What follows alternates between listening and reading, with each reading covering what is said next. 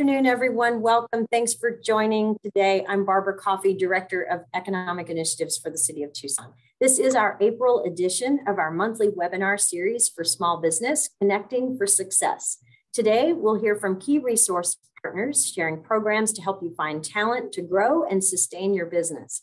We'll take your questions as we go, so feel free to enter those in the chat box or the Q&A. We'll get to as many of those as possible in our time together, and we'll keep all participants muted since we do have a large number of attendees. We will also record this session and make it available for everyone. Usually they're up by tomorrow. And you can find all the links to previous webinars at www.connecttucson.com. I haven't said the WWs in a while. I usually drop that. So here we go. Well, let's get started. I have a great panel today. I'll first introduce our guests from Pima County Community and Workforce Development Department. Rhonda Pina, a second generation Tucsonan, serves as the department's program manager for business services. Rhonda has a 29 year banking career under her belt, having worked with Wells Fargo Bank as a senior business relationship manager in commercial banking and as a branch manager for retail banking locations. Prior to Wells Fargo, she worked for Bank of America. Rhonda holds a Bachelor of Science in Business Management, Certificate in Human Resources Management, and an Arizona Department of Education Certificate Substitute for Pre-K through 12. Rhonda has served on a number of professional and community organizations, including council member, Town of Oro Valley, council liaison, Oro Valley Water Utility Commission, commissioner, Pima County Employee Merit System Commission, and Law Enforcement Council member, Pima Animal Care Center Advisory Committee, and board of director, Amphi Foundation. She currently serves on the board of Commerce Bank of Arizona and is a member of the Tucson Airport Authority. You're very busy, Rhonda. Just have to say that. Dominica Dominguez has 25 years in community social services, 15 of those working with Workforce Development Community Services. She is currently part of the Pima County One Stops Business Services team, helping employers with their workforce challenges. Dominica has an associate's degree in general studies from Pima Community College. And then we'll hear from Keisha McCabe, Director of Human Resources for Sargent Aerospace, who can share some of her recent experience working with Pima County One Stop and our partners here on the webinar today. So with that, I'll turn it over to Rhonda to get us started. Okay, thank you, Barbara. Yes. So we'll bring up, we have a PowerPoint presentation and we'll start with that. Great.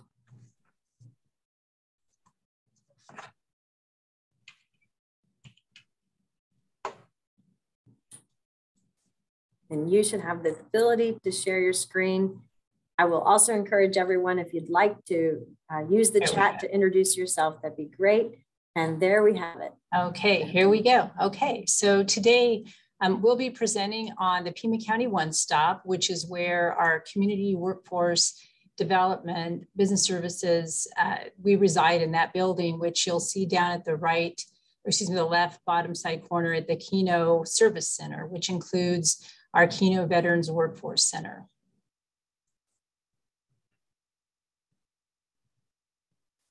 Next slide. Okay. So the Community and Workforce Development, also known as our CWD department, it connects individuals, families, neighborhoods, businesses, and community-based organizations to a network of resources and services essential for learning, working, living, and thriving in Pima County. The CWD team serves with heart, urgency, and in partnership with our community. Help begins with the one stop. And I would just like to say thank you to Barbara and her group uh, as a partner within the Pima County community. We work very closely with our partners, and so we continue to I'd be very appreciative of this opportunity to present today and to continue to work with the City of Tucson and also our other partner who will be presenting today, uh, Michael Guymon from the Tucson Chamber. So thank you to both of you with the opportunity to present. So business services, what we do to support employers, there's, there's several things that we do. Uh, the first thing we do is we project future skills needs. And so we have the ability to collaborate to anticipate and prepare for workforce, for workforce trainings and on-the-job training needs. Uh, one of the other things that we do is we identify high demand industries. Now, while we do have the ability to identify those industries, we do that because we work with what's called the Workforce Investment Board. One of the, the things that we found, and, and actually with talking with Barbara and her team, is while we do have the high demand industries, what we have found post COVID is we have other industries that uh, also uh, have employers that have job seekers uh, that are, you could kind of say they're in high demand. Um, they're just not identified as those high demand industries. And so hopefully we'll be working together you know, with the city of Tucson and the chamber and other partners to look into those particular industries as well for job seekers and for employers. Uh, the other thing that we do is recruitment and job matching. So we match job seekers to employers. Uh, we do this through advertising, job fairs, and hiring events. Uh, the hiring events we can either do here on site or we can actually do at other sites as well. Uh, the one thing that we do is a mass recruitment uh, where we share job leads with over 12,000 job seekers, which will also match our employers with job seekers. Uh, the other item that we do uh, to support employers is we provide an on the job training program. And essentially what that is, is employers who uh, employers can waive experience requirements and commit to hiring and train one-stop participants. The value of doing this is that they get the opportunity to work with participants um, that are eligible, and then they can get up to 50% of the wages of that participant reimbursed. And the beauty of that is, is that not only are they getting the wages reimbursed, but they're also able to have time to see if it's going to be a good fit for the job seeker and the employer. And then lastly, which is a good thing that we haven't had to utilize this service, is we have what's called the rapid response.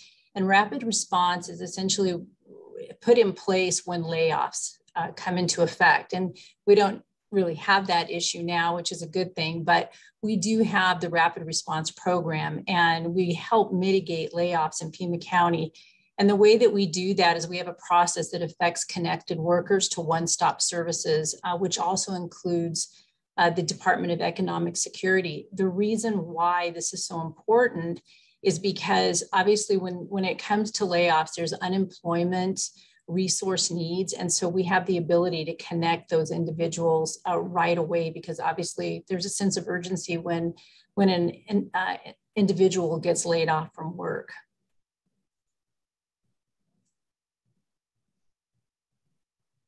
so what we've done with our employer services is we we keep track of what we do and what we service here. So the Community and Workforce Development Business Services Division, uh, we seek to address business needs and obviously coordinate through meaningful trust building engagement. So we have, I guess, what you call a book of business with employers here within Pima County. And so for the fiscal year 630-21, we served over 822 employers we assisted 55 companies and provided resources to over 4,281 employees affected by layoffs or plant closings.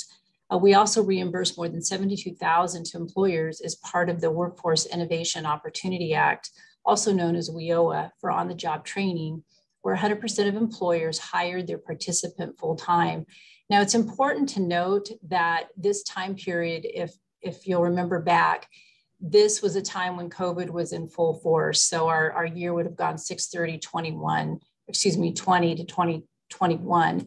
And so when there were layoffs or people looking for jobs, we were busy with working with programs, you know, the payment protection program, the uh, better, the better business plan that the county had put out, uh, to help businesses. So those numbers uh, seem very high, and, and, they were because there was a lot of infect, a lot of affected employees. So how do we do job connections? The job connections that we do, we do in-person hiring events. We also do on-site employer recruitment activities. We do resource navigator activities, which is our way of doing holistic customer service approach to connecting job seekers and employers. We also do job postings at no charge, which I mentioned earlier in the, the previous slide. There's an outreach to over 12,000 job seekers. And so when we send that information out, there is no charge for the employers or the employees, uh, or excuse me, the job seekers that are looking for jobs. The other way that we can do job connection, or we do it through social media and community outreach. We have a wealth of information that we can disperse and have the resources at our hands here at Pima County uh, in order to get that uh, information out to the community. And so um, it's important to note that on the, the hiring event, events that we do, we can do them here, or we can do them at a place of business, or we can do them offsite, which we have actually done. You know, here recently, we've done job fairs with the city of Tucson, um, as well as other community partners. So uh, that's one of the things that we'll continue to do because I think as we see more people maybe want to go out and get you know employment and we'll work with the employers those things are going to become even greater uh, become of even greater importance and we'll be working with our community partners uh, to help our employers. So our goal, as well as our community partners um, that are here today, you know, are obviously to have a career-ready workforce. Um, the way that we do that is we set career goal planning uh, with case managers. So our participants can come in through the one-stop. They can be aligned with case managers, and those case managers will help them provide the right uh, training, the right career uh, path, so that we look to have a sustainable wage for these individuals looking to have long-term employment. And then, and then, you know, the value is to the employer as well because they're going to retain these employees. Um, we do have pre-employment seminars for improving in interviewing skills, resume writing, and basic com uh, computer skills. And we can do those here at the One Stop with those classes. We also offer supportive services and you know, a lot of times we may find with this workforce that there's barriers to employment. Um, so we provide training and, and employment assistance. So there could be resources to provide funding for prescription glasses, tools, uniforms, transportation, utility, and rental assistance. Um, and there's also the availability to receive childcare assistance, which we know can be a barrier for some people to be able to go to work. And so at the one stop here, what we do is we align a participant that may have those barriers with those services and then uh, also get them connected to an employer. Uh, the next thing that we do is we have occupational skills training. So we have a provider list which has more than 300 programs. And essentially, what that does is it increases the skill of the local workforce. And going back to my previous statement, we really try to place the job seekers with the program that's going to work best for them and keep them in a sustainable, uh, skilled job.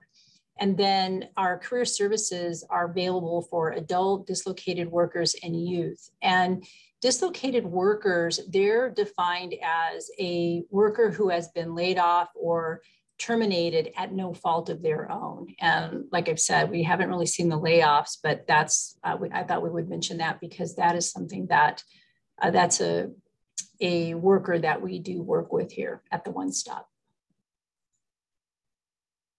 So the training elements that we offer here, um, there, there's they're very they're very good elements because they touch a number of our of our em, employee base um, when it comes to the workforce. So one of the elements that we do is occupational skills training. And this is the WIOA adult eligible participant element. And essentially what it is, is it's classroom training from one of our eligible provider, eligible training providers. And it's also known as the ETPL list. The next thing that we do is on the job training. So for WIOA eligible adults, um, they who earn an hourly wage, um, it, they can have up to 50% of their reimbursement to employers for their wages. And then hopefully the goal of that is to turn it into a permanent position, you know, once they've been successful meeting uh, the criteria with their employer. And then the next one is a, is a transitional job. And it's probably good to think about this as an internship. So under uh, the WIOA eligible adult participant plan, um, they don't have, they can have little to no work experience and then their wages are 100% paid through WIOA funds. And then the business is not required to hire after, after this term that they've worked. Um, hopefully they do have a job, but it's not a requirement of the, of the business. But it does allow for skill building for a, a job seeker. And then the last one is an incumbent worker training. And so there may be current workers who need to update their skills or, or who have a specific credential that they need in order to maintain or keep their employment. And so we also offer um, resources for incumbent worker training.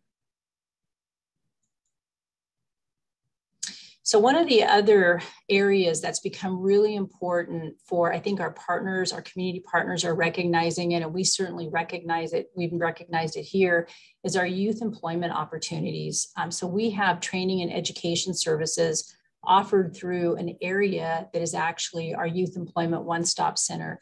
And that area provides education and employability services to Pima County youth and young adults uh, ages 16 to 24. Through that network of local businesses and interagency collaborations, um, we serve a pathway for young people to succeed in the workforce. And some of the, the, the uh, interagency collaborations we work with, we work with Job Corps, we have Pima vocational high schools that we work with, with the students there so we can place them um, once they've graduated from high school. And our mission is to equip Pima County youth to gain employment, achieve self-sufficiency, and reach career potential through education, training, and work experience. One of the ways that we've been able to do that is uh, through a program that was created a while back through the Pima County One Stop. It was known as SAMP, uh, Southern Arizona Manufacturing Partnership. And what it is, is there's groups of kids that are in the Sunnyside School District and the Tucson Unified School District that go through a manufacturing program. It's, it's curriculum in the high school. And then once they are able to graduate, they're given an internship at manufacturing companies here in Tucson. And it's a wonderful uh, internship and hopefully in most times a lot of these these youth they stay on with these manufacturing companies and they they make a very good wage so it's it's a program we're proud of and it just goes to show that our youth if we catch them early enough uh, we can actually help them set a course for a career that hopefully they'll stay in for quite some time and stay local in tucson and, and greater pima county So we look at a collaborative approach. Community and workforce development includes housing and community resources in addition to workforce and business specific programs. So just some of the things that we do here collectively, um, not just trying to find a person a job, um, connecting the employer and the job seeker, but we also have the Kino Veterans Center, which we navigate veterans and eligible spouses to explore services that include occupational skills training, career counseling, support services for personal, family, and emergency needs. And as I mentioned on that very first slide, you saw the Kino Service Center with our vet center that's, that's resides, it's aligned uh, to us in the building. Uh, we have a whole host of individuals that do nothing but help our veterans uh, who may be, uh, there could be homeless veterans, there could be veterans that are leaving the service. And so we're here to provide a full range of service for that working sector.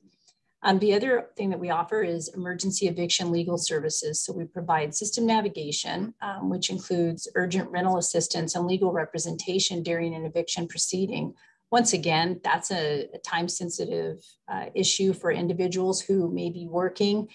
And when a, when a barrier or something like this happens in their, in their world, it could prevent them from you know, being able to go to work, being able to stay in work. And so we try to help uh, provide resources for those barriers so they can get to work and keep their job.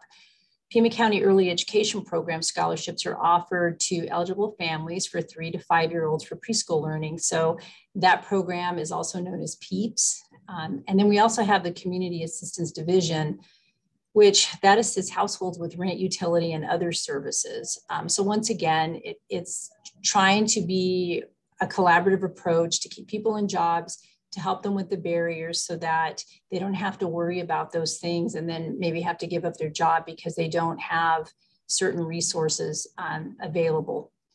And then we also have the Community Development Block Grant, which provides financial assistance to Pima County organizations that align with the local HUD consolidated plan.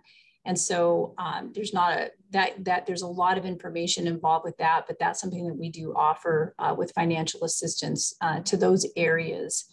And then we also have the Sullivan Jackson Employment Center, which connects homeless individuals with housing and employment resources. Because once again, we find that if we can connect people with resources, whether it's their barriers and then also with the job seeker or with the employer, we find that we have a better success rate for employment and keeping individuals employed.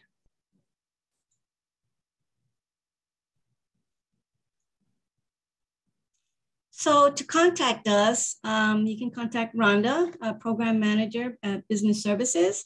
There's her email address and phone number. And myself, Dominica Dominguez, Program Coordinator, Business Services, my email and phone number, um, as well as our uh, main business services uh, email address and our website, PIMAworks at, I mean, I'm sorry, pimaworks.gov. There's a lot of information for employers and those that are seeking uh, services from the One Stop. Uh, the main number for Penal Service Center is the 724-7700 number. Um, myself as a program coordinator, um, I am the supervisor. I'm a supervisor role for the outreach team.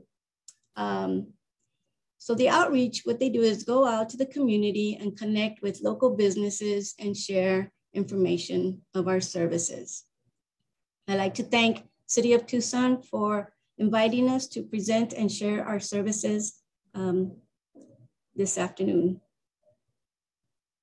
Fantastic. Thank you both. I appreciate that. Um, you can see there is a wealth of support through your office. And I think that's the message we wanted small businesses to hear is that they don't have to go it alone when it comes time for um, finding talent or, you know, when they're having those hiring challenges or they need to fill a specific position. Um, it is certainly um, helpful to, I guess, have uh, people on our side, right, to help solve those problems. So I really appreciate that. And I think to illustrate that, um, and I want to see um, if she is still available. If if um, if Keisha is still on, I'm not sure I'm hearing her yet, but maybe Dominica, you can. You can. Guys, can you guys oh, hear yeah, me now? Yes, yes. Okay. Okay. I see you on Rhonda's um, name, but that's okay. We, we, we've got you identified. So, uh, so that's perfect.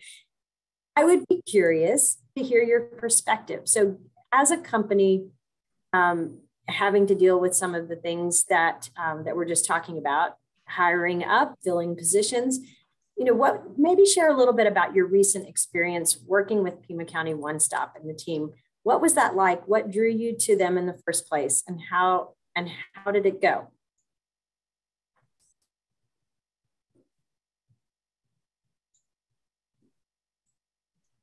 Did I hear, can I hear you, Keisha? No, I've lost Can you hear you. me? Oh, yes. Can you hear I me? got you. Yes. Okay. So one of the things that's really cool um, that I wasn't planning on talking to, um, but it's the SAMP program. Um, so years ago, when I was at Sargent, um, this whole program started because we were having such a terrible time finding machinists and trades and so forth. Um, and I believe at that time it was Jerry Brunson who um, they partnered up, um, Pima County, and um, the president of our company at that time was Scott Still. And he was just, you know, it was just this, a terrible time finding trades, um, tr- those those individuals in the trades. And so it really kicked off this SAMP program. And I have to tell you that we, um, it's just been incredibly successful. Um, and I just have to say what a positive what a positive um, outcome that's been for uh, manufacturing and for Sargent. Um, we've had some fallout like over the last couple years. Of course, there's COVID, um, and then I think there was a changeover with Jerry, and then there's some there's an, um, a little bit of change in the platform and the the personnel who's been working the program. But it seems to be ramping up again.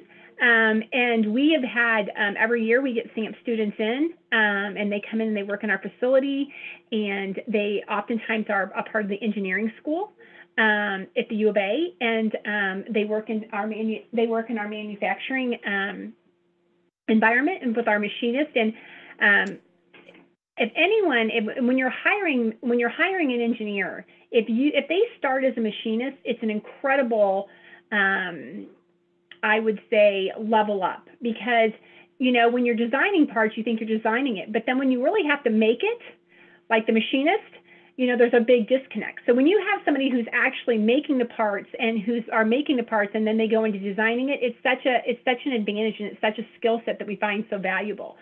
So this program, I just want to say, one is um, huge, and I really hope that we can continue to elevate it and to get back um, to to the platform that it was. I mean, it's still very good, and I know that Kathy has made a, uh, I think a um, a huge commitment to it. So um, anyways, it's just uh, it's been a wonderful a wonderful program. Um, again, we look for the kids. Um, we go through um, um, interview process, and then we have them come in.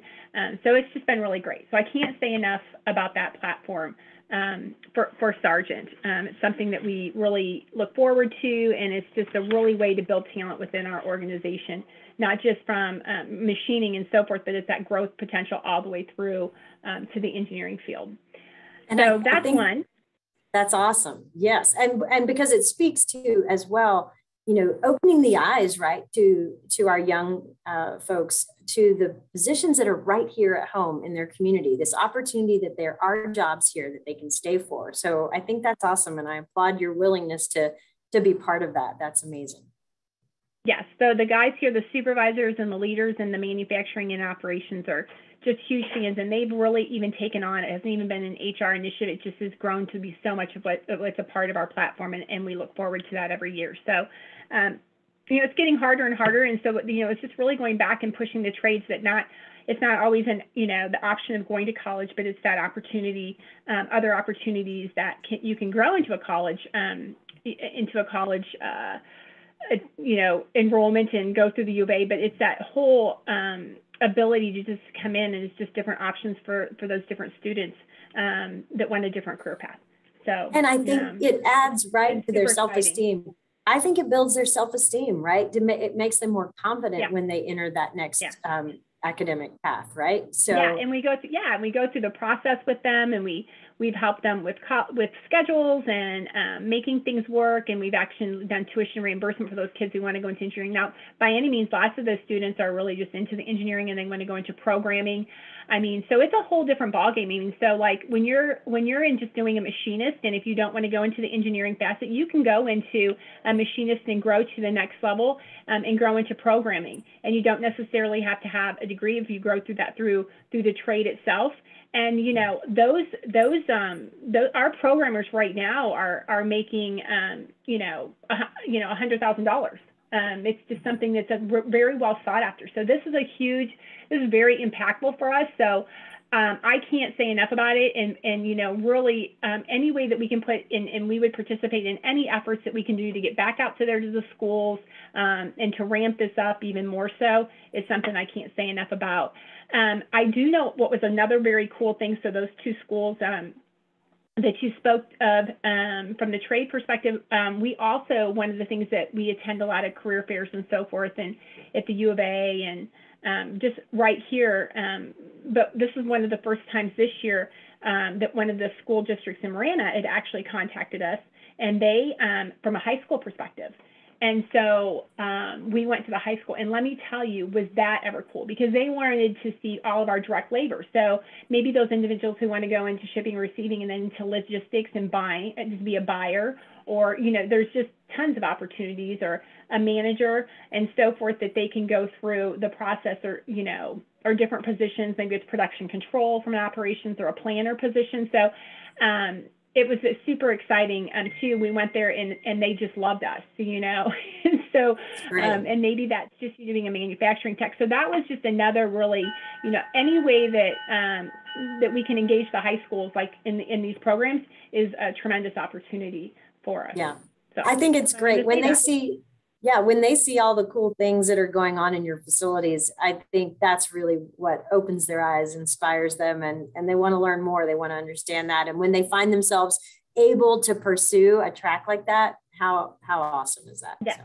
Yeah. Awesome. Yes, it really it really is. So so that's been that was super cool from that perspective. And then on secondary, um, we participated in the um, H1B1 um, workforce program um, for two of our classes. I believe this was back in October, so you guys will have to forgive me because I don't yes. I don't. It was uh, it seemed like so long ago, and it, and it really wasn't. But this was a tremendous opportunity again for us um, because we. Uh, we another area that again in trades and perspective is our inspectors, our quality inspectors. So machinists are very very difficult to find, but what even more so harder than that is quality inspectors.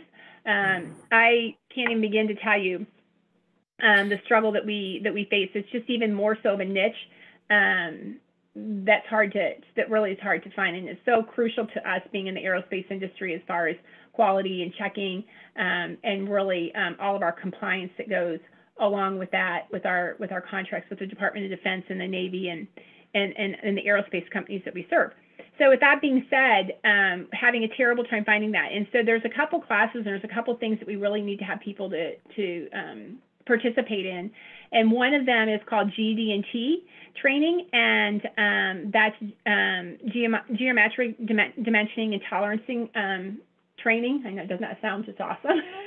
I can't wait to jump into that class, right? so, um, but it's very technical. Our engineers um, is very crucial to our engineers, and it's very crucial to um, our engineer and our test engineers and our and our test our test techs. So um, we just had a really hard time. Um, it's it's a position that um, so the quality positions that Sargent have been have been that have been open and that we've been struggling to find. Most all of them, and the quality engineers and the regular engineers, really this this training is something um, and having this skill and the ways that we can develop it is crucial to the organization and to many and to many um, manufacturing organizations. So to make a long story short, we were able to get in um, with the help of this grant um, and th them resourcing it. Um, we were able to double our numbers into that. So that really gives the you know individuals um, the skill set to have it across the organization because it's so hard to get the training. And then it really helps from the ability once they have that um, the level two positions you know you really have to have the have the training and have the skill so that was incredible just to be able to grow our skill set and organizationally be able to have that to help us better service our customer so that was a phenomenal a phenomenal class and then um, from a little bit more from a um, an administrative and salary perspective and a, and a leadership perspective they also helped um, the H-1B grant that we participated in. Um, again, like over 20 people that we weren't, we would never have been able to manage. Um, is uh, it's called Apex Advanced Product Quality Planning. Um, and it's AS 9145. It's an aerospace standard, as is the GD&T training. So um, that we were able to um, participate, get all of our team members um, in there, and um, this skill is really focuses on from an from an organizational perspective of uh, putting a lot of work up front in the planning phases for us because let me tell you besides having the GD tree training um, and that technical side we we are not real good at planning making it effective in the rollout so um, this just really moved the organization forward by having this training um, in a highly competitive market um, you know, the expectations are high in our market right now for delivering um, products on time and high quality standards, and most importantly, ensuring that they're safe. So this really gave us the ability to put this work and have a, have a planning platform um, and just a baseline foundation for our for our um, salaried team members um, to put the planning effort in front uh, instead of the back end, so that we were much more efficient. Um, so it was uh, it was again um, tremendous opportunity. Both of those both of those, um, that grant, the H-1B1, um, and helping us um, be able to provide this training um, and, you know, that's great. You know, raising the skill level of our employees and um, from an organizational perspective, um, just putting us on in a place for, for our customers. That's great. Now I'm thinking about Rhonda and Dominica as you hear Tisha talk about those experiences and successes. You know, what would you say to, to businesses listening that you know haven't used your services before? You know how do you kind of allay their fears if they have any about kind of working with a system uh, and services like yours? I mean what do you say what do you say to that and, and how do you build on what kisha has said? So, uh, and first of all thanks kisha for uh, providing that information. I would say one of the things that makes it unique is relationships. It's relationship building. It's not transactional. So we have, as, as you know, you, you heard Kisha, there's was more than one service used. And I believe they might be doing a recruiting event too. So there's a trifecta maybe. Oh my gosh, um, yes. I forgot to mention that. I so all my excited because we haven't partaked yet, and so yes, um, Ashley Hames, um, um, she manages our talent acquisition process, um, and she's participating in that. So I can't say enough about that. We're excited for that for that to be a part to be a part of that.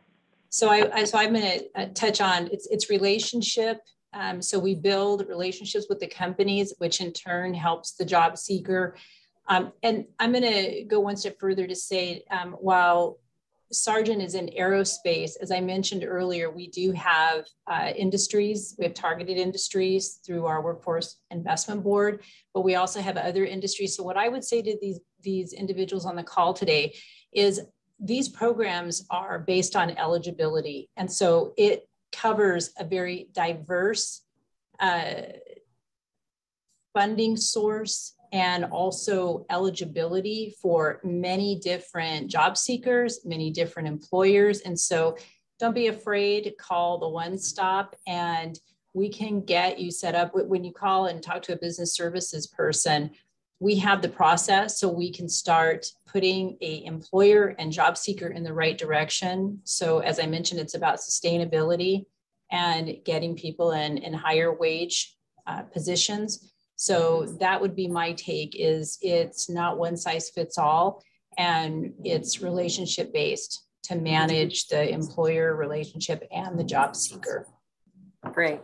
Awesome. Well, thank you. Thank you all. I'm going to keep us rolling, so stay with us because we may have some questions at the end. But now I'd like to introduce Michael Guymon, another native Tucsonan with a 25 year career centered on political strategy, business development and advocacy, and organizational management. As president and CEO for the Tucson Metro Chamber, Michael is responsible for developing and implementing the goals and vision for the Chamber and to fulfill on its mission to champion an environment where business thrives and the community prospers. Prior, Michael was Vice President of Regional Partnerships for Sun Corridor Inc., Executive Director of Metropolitan Pima Alliance, Chief of Staff to Tucson City Council member Fred Ronstadt, Assistant Vice President for Governmental Affairs for the Tucson Metropolitan Chamber of Commerce, and political consultant to the Bridges, a 360 acre mixed use infill development home to Tech Parks, Arizona, Geico's regional headquarters as well.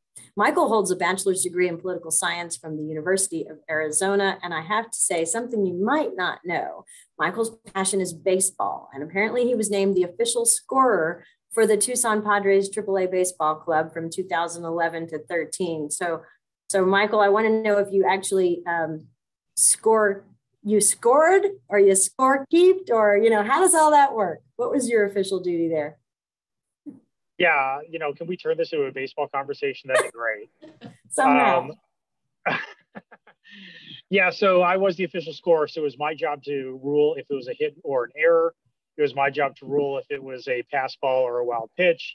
Um, all of that then relates to the statistics, whether or not the pitcher gets an earned run or the batter gets a hit, all that kind of stuff. And so uh, Which, my job was important, but but the the conversations that I had with the managers after the game were even more fun more fun. But all that statistical uh, knowledge you brought to bear in your current role, and with all I know our, our work on the workforce board together, which you are a key piece of, really informs the work that Rhonda was just talking about in her presentation. And so I want to turn it over to you, let you share uh, how the Tucson Metro Chamber um, can assist in this way. Yeah, thank you so much, Barbara. And I just want to start by saying uh, thank you very much for your partnership. Uh, how great is this call? We have the city, we have the county, we have an employer, uh, we have a business organization. I mean, we're all coming together to help solve these problems, and we do this collaboratively. And it's it's it's extremely important for all of us to be pulling on the same rope, and I think that we are doing that. Uh, so, you know, there there were a lot of things that were touched on. There was on on the job training. Um, there were organizations like SAMP that focus on specific skills. Uh, what we at the chamber are doing, so we adopted a workforce blueprint that uh, you, Barbara, were a part of our steering committee. Uh, we also had a couple members of the uh, the county's uh, economic development department as a part of that steering committee to help develop those recommendations. And I just kind of want to focus on a couple of them that are relative to this conversation. One is uh, is uh, it's related to kind of on the job training, but it's more work-based learning programs. So internships, externships, uh, job shadowing. What we are trying to do is encourage more employers to provide internships, to provide externships to, or for teachers, uh, to provide uh, job shadowing for high school students. Uh, the more we get uh, employers involved in this, uh, the better on the sort of on the job or real world training um, our students will receive. And we, we know that there are many employers who have turned those internships into full-time employment uh, because it's a great way to, to find what talent exists. And again, a lot of these students are going to these internship programs because they are passionate about that work. They really want to do those types of jobs. And I, I love the, the comment that Kisha made earlier that's related to, to this as well. And that's that not all students um, are going to go down the college track. Uh, what we're seeing uh, through Pima Community College, uh, through a lot of trade schools, uh, are positions um, and, and career pathways where you can, you know, get a certificate, you can get an associate's degree, uh, you can get a two-year degree that will lead to a fulfilling and full career. Uh, and so we're really trying to base uh, these experiences um, that students are having, uh, base them on the passions that they have, the things that they really want to do. Uh, knowing that that college is not for everyone, knowing that associate's degree is not for everyone, um, it's really trying to make sure that these students are, are going down the right path, and it's a path that they want to go down. Uh, and so, uh, a program that we are ultimately going to be calling uh, the Tucson Employer Development Program that we're working jointly with the city and the county on are is a is awarding and at the very least recognizing companies that serve as best practices for internships and other work-based learning programs. Um, so we're going to be rolling this program out over the, the course of the year. Uh, we're very excited about that partnership and we're excited to bring these best practices to bear so that companies can follow suit. Uh, the other, the other uh, element that I want to talk about um, is uh, our work with the Center for the Future of Arizona, uh, which is a statewide organization that is working, one of the programs that they're working on is career literacy. So I talked a little bit earlier about career pathways, demonstrating, you know, child or student, whether it's middle school, high school, they want to become, and I'll just use Kish's example of a welder. These career pathways lay out the exact pathway that these uh, students will go down uh, to that associate's degree, to that certificate, to that uh, bachelor's degree, to that master's degree, um, in all these different positions so that they, as middle schoolers and high schoolers, have a better understanding of, um, of what that pathway looks like. Uh, the, the way that uh, in which we're doing that is uh, uh, doing a pilot program right now in the Sunnyside School District, partnering with Superintendent Steve Holmes and uh, going and, and getting employers into the classroom uh, so that uh, the students uh, in that particular school district uh, will see and listen to and hear from the employers that are probably right down the street from where they live.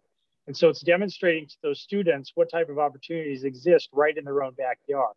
But it's also showing uh, the different types of career. Um, and, you know, Kisha talked about the, the work that they do in the schools in their area.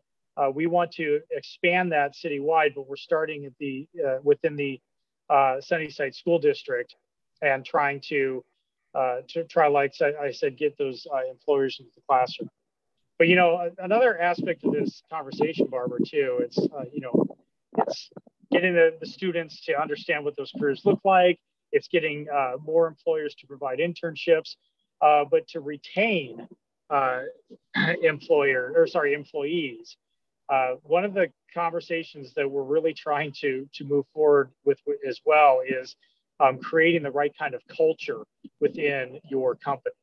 Uh, you know, I, am starting to see statistics, and, and we actually uh, wrote an article uh, that appeared in uh, November's edition in Inside Tucson Business talking about culture and how important it is for employers.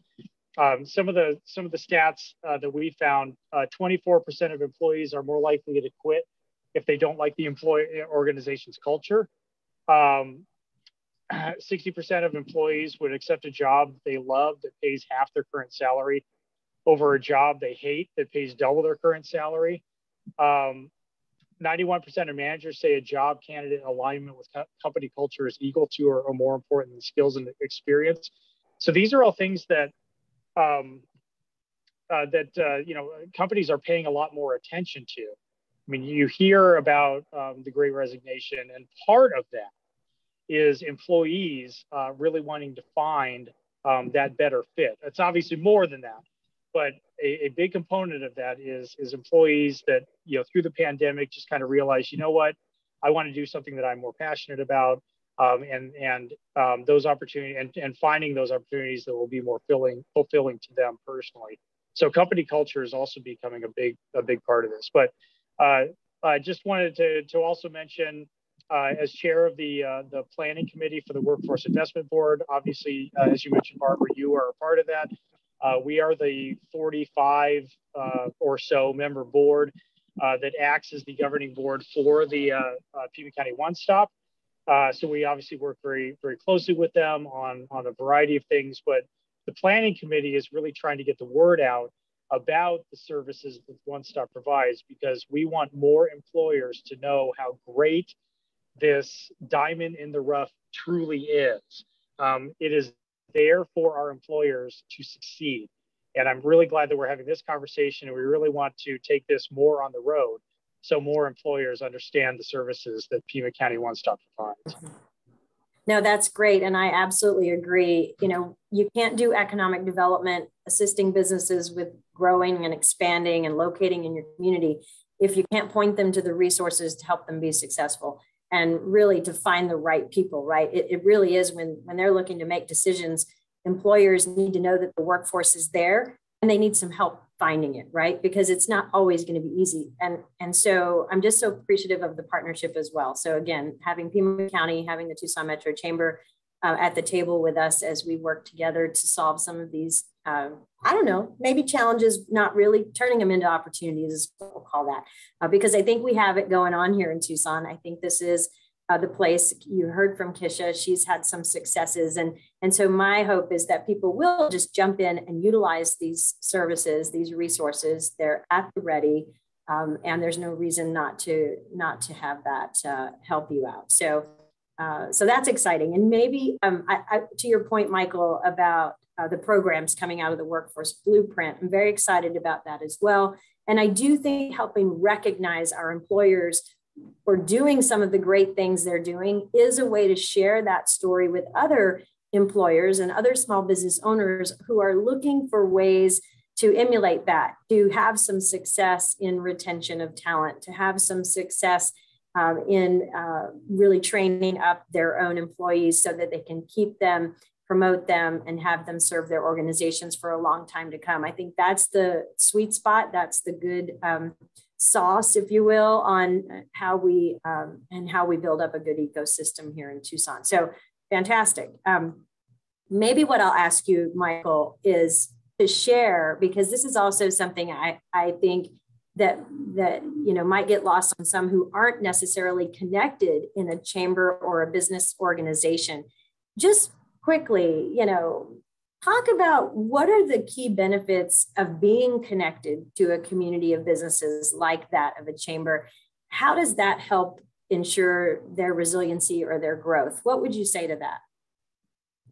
So, uh, know, I would say that being a part of a chamber or any other organization, uh, whether it's chamber or leadership organization or you know trade association, um, you build those networks and especially with the chamber with as diverse of a membership as we have um, if you attend our events uh, if you are part of um, some of our sector partnerships you're working with other businesses and learning about other businesses that you can potentially do business with.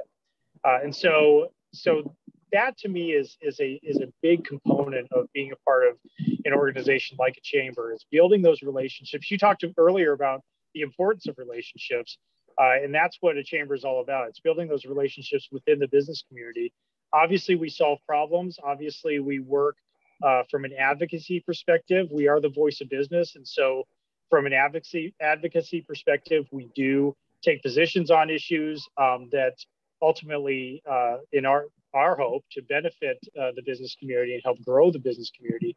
But we're also help here to help businesses grow and succeed. And, and one of the main ways that we do that is providing the right kind of connections uh, within our events, within our sector partnerships, within our committees, uh, and and also with our partnerships with with other chambers and other organizations. And so, mm-hmm. you know, we're all here working together to uh, to build a business community. And I think that's the key, right? The business owners they don't have to go it alone, right? So if you're, you know, if you're sitting there in your chair, or if you're standing and watching this, um, or if you're listening on your phone, right? You're not doing this on your own, right? You have these partners, you have fellow business owners and leaders in the community and resource partners to help you solve for whatever it is you're faced with. So let's talk about that real quick as we come to the close of our hour just for all of our panelists, what are the challenges that we should be thinking about? What are we about to be facing, or what seem to be the, the more difficult, um, you know, pieces of the puzzle right now as it relates to workforce development? What would you say to that?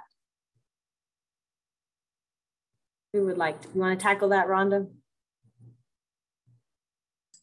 So I, Michael and I actually had this conversation, and maybe even you and I did, Barbara. Uh, one of the the issues that I see and our group sees is where we centralize this information. Um, I think businesses don't know where to go a lot of times. They hear things, you know, whether they it, it's the information is out there, and I think as community partners, um, I think for us, and, and you mentioned it earlier, Michael mentioned it for us to get together and to have a very siloed messaging right to businesses. And i don't mean silo it's very you know small but i mean a silo of having us work together to get that information out. And i'll give you an example.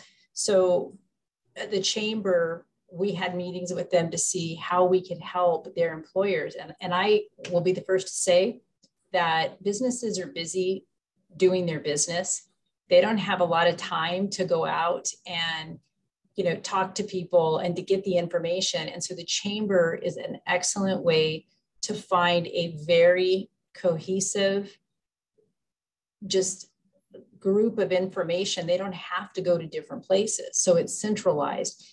He went ahead and had our link put on there so that we can help businesses who have employees that are struggling. So they right there put a link and it goes straight to our website, which they're advocating for their employers and their you know membership is getting value with that. So, in my opinion, I think we need to get the messaging out to businesses that uh, the resources are there. And so we know the workforce issues are there, you know, finding the jobs, finding the, you know, matching the employers. But I think it's also the messaging with helping with the resources in total. Thank you. Absolutely. And Kisha, I wonder, or I know Michael may have something too, but I was thinking, you know, what are the challenges right now with workforce? Unemployment's low again, kind of a strange period of years we've gone, we've just gone through. Um, what are there positions that are still hard to fill right now? And you know, and maybe Kisha can speak to that piece, but Michael, maybe you can speak to the small businesses of in other industry sectors, retail and service industries. Um, you know, how does that, what's that outlook look like? You want to take take that, Michael? Uh, yeah, sure. Yeah. Yeah. So I and I think uh, some others attended the Future Workforce event last week at the University of Arizona. And the the stat that just keeps sticking in my mind, and I, I don't mean to like use this to, to bring this conversation down, but for um, uh, for every 10 open positions in the state of Arizona, there are six unemployed individuals to to fill them. That is a, I mean, just from a sheer numbers perspective, that is a major issue. Um, and so part of it is skills, making sure that we have, you know, we're, we're developing the right kind of skills, which, you know, obviously a lot of our post-secondary education partners are, are doing every day working with industry. But but it's also a sheer numbers game. Not only is it from an unemployment perspective, where you know 10 open positions for every six unemployed individuals.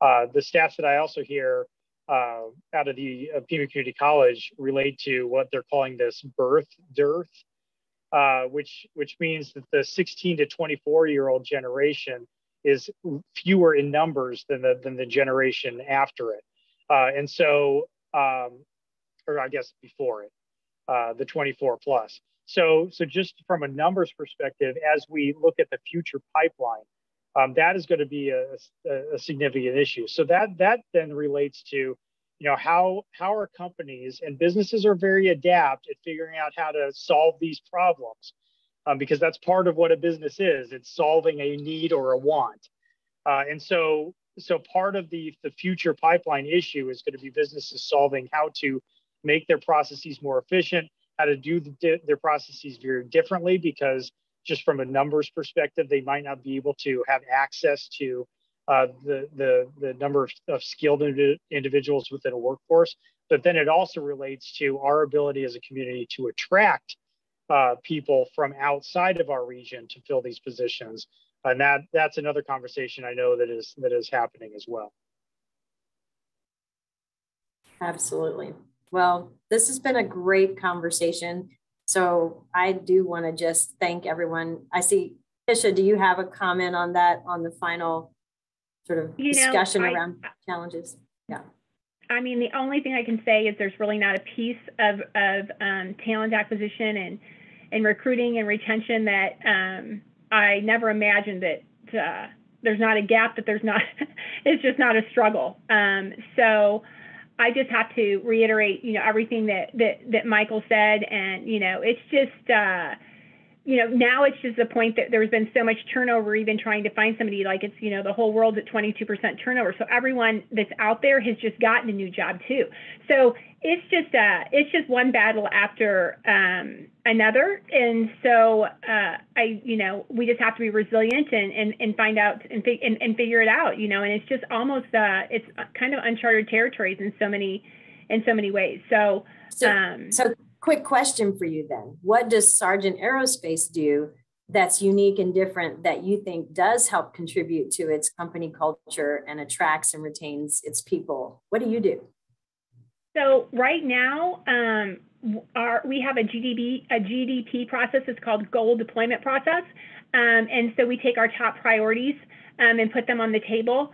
And um, this is our GDP priority number four, not that it's ranked in any such order, but right now our organization is just really, you know, having that strong culture um, making sure there's just you know a, a, huge commitment. People want you know they want when they're coming they want to know more things. They don't want a boss. They want a coach. They don't want a job. They want to they want to know they have career advancement. Um, i mean you know it's just uh, you know the pay perspective and and and um, i mean with engineers and so forth i mean the increases um, and and and the wage inflation is just amazing. Um, and so it's just uh, it's just doing everything that we can do to be engaged with our workforce um, and, and very very much i mean i think that's the biggest thing at this juncture that we really just have to do is just be engaged. And that's going to take care of you know wearing their knowing if they're if they're if they're we're going to retain them if they're if they're happy um, how they feel about their pay you know what you know that they're aligned with our goals and objectives and our culture and our mission. So we're really revamping on our whole um, uh, uh, our whole culture and you know making sure we're providing flexibility making sure you know that we have the that have, people have good work life balance that's so important coming out of the whole remote workforce world so there's just so much um, that I can honestly say it's just being about engaged with your workforce and creating those platforms and those spaces for for um, for us all to be uh, able to awesome. communicate effectively and um, being and, and, really making sure that we're, we're hearing our teams in our in, That's our, in awesome. our workforce. So there you have it. If you stayed to the end, you got the million dollar advice here from the employer of choice in our region. So that's awesome. Thank you, Kisha. Thanks, everyone. It has been a fantastic conversation, and it is about creating pathways for our people, right? Let them help them realize their their dreams, their goals, uh, because then it's not only professional but it's personal as well, and you'll have loyal workers, right, to the end. So that's awesome. So again, hats off to everyone on the panel today. It's time to wrap up our time, but we'll be back next month on Tuesday, May 24th at 3 p.m. Be sure to watch your inbox for the announcement and registration link. We'll keep you connecting for success. And don't forget, you can call our City of Tucson Economic Initiatives Small Business Assistance Line at 520-837-4100 and visit connecttucson.com for resources or to sign up for our email updates. So with that, have a great afternoon. Thank you, everyone.